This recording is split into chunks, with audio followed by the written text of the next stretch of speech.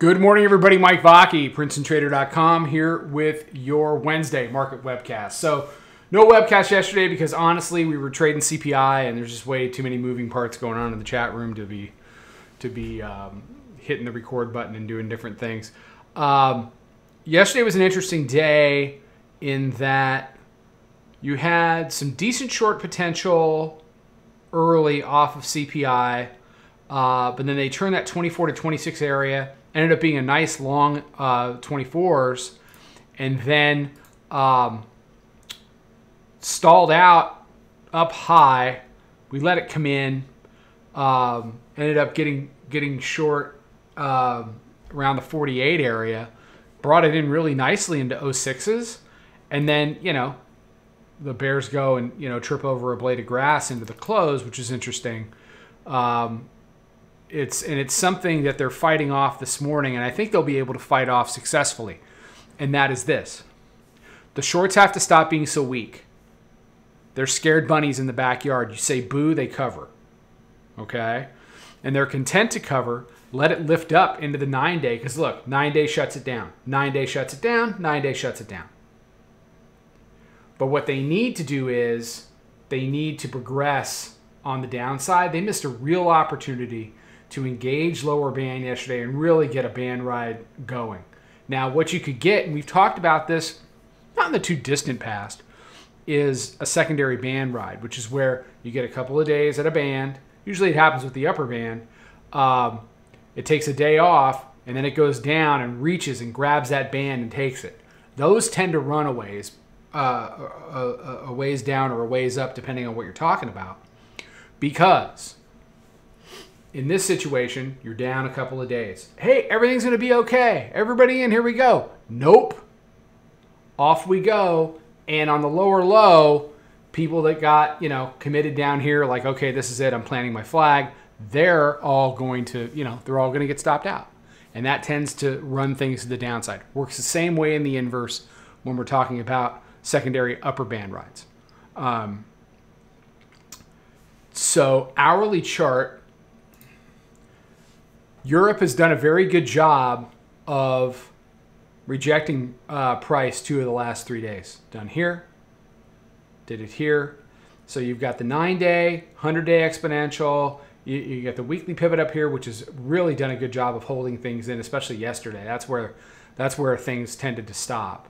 Um, and again, bears have an opportunity to get back into this 38, 39 or below. If not today, then tomorrow. So we've got a lot of stuff out of our system CPI, PPI, retail sales. Um, you've got the Fed coming up next week. In the interim, what you're left with, it's not really a vacuum.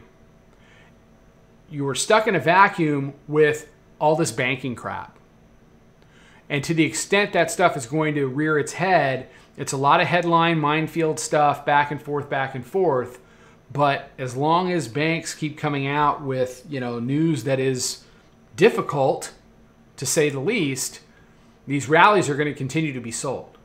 And if we're going to live under the 9-day and we're going to live under weekly pivot, then we're not even really talking about things like the daily midband, which we've already taken control of. So, are there going to be rallies? Yes. You can be long the rallies, you can stand aside, don't fight them short. You're better off getting out of the way. If you're just one of these people that just can't buy because you're a freaking perma bear and you just can't get over yourself to become a good enough trader, I'm sorry, but you know, the truth is a bitch.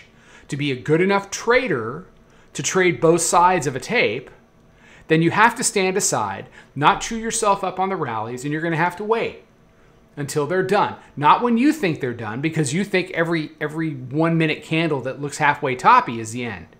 You need to wait for it to stall out, make a couple of lower highs, and come on in. That's basically what we did yesterday because we were long into this. I let it do this and I let it do this. I went to the gym, whatever. And then when it starts to convert 50, it's like, okay, well, we'll get involved. Well, why did you wait so long? Well, because I wanted to be sure. Because if it's for real, you're going to get 40 points on the other side. It's, you know, everybody thinks they have no time to get in. You have all the time in the world to get in. It will always go much further than you think it's going to. And that especially applies to these little rallies, which if, if, if you are not in a mental place to trade both sides of the market, you will fight it. You'll add and add and add and add and add, and then you'll end up just, you know, getting out of your trade for nothing. So you got BlackRock out right now. Additional seizures could happen post SVB. Current environment similar to the S&L crisis of the 80s. I think that's about right. Um, and that goes back to what I just said. You're trapped in a vacuum with nothing but all this banking stuff. That's going to weigh on the tape. But either have the maturity to trade both sides of it or know that when it starts going in, in an upward direction with a little face ripper rally, that you need to take your profits and just get out of the way. Sit on your hands, go take a walk, build a bridge. I don't care. But what you can't do is fight it short. That's the best piece of advice I can give you today. Okay? If it's going down, fine. But if you can't bring yourself to trade both sides, then you have to sit it out. Trading both sides doesn't mean, well, I'm short when the market's going down and I'm short in adding when the market's going up because I'm some amateur swing trader or whatever the hell you want to call yourself. That's a great way to make a big mistake because what'll happen is at some point, somebody will say something, they'll cut a deal, something will happen, and they'll really rip it for a few days, and that'll nuke you. And I know the vast majority of the people that I'm talking to were not around in 08. That's what happened to a lot of people. Don't be them. Don't be them because they don't trade anymore. All right, so you got volume weighted average price 3907, hourly mid 37, call it 36, right in there around the daily pivot. Um, proprietary moving average is at 91 half. Um, you know, it, it's it's a 99 handle Globex range. So, you know, the low at 65 is going to be important. I wouldn't be surprised if we went up and, and gave uh, volume weighted average price a look. You know, right now we're short 88 after retail sales and PPI. We just have a runner left. We took, you know, 10 and a 20 there and we're just letting it work. Um, I wouldn't be surprised if I got stopped out of that probably by the, you know, probably by the time you're watching this on YouTube because it needs to go test um, uh, 90 in the 91 area where our proprietary moving average is. 3900 rejected off of the economic data at 830. That's going to be important. The best thing the Bears can do for themselves is keep a 38 in front of everything today. Literally everything.